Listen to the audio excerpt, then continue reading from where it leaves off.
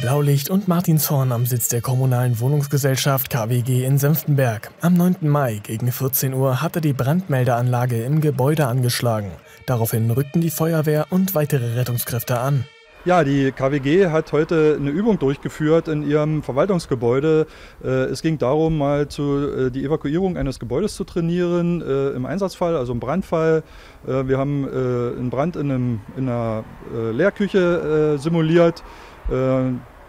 Dadurch kam es eben zur Auslösung der Brandmeldeanlage. Das Gebäude wurde evakuiert und die Feuerwehr hat dann die Brandbekämpfung und die Personensuche durchgeführt. Einen ausführlichen Bericht über die Einsatzübung sehen Sie ab 16. Mai im Programm von Seenluft 24.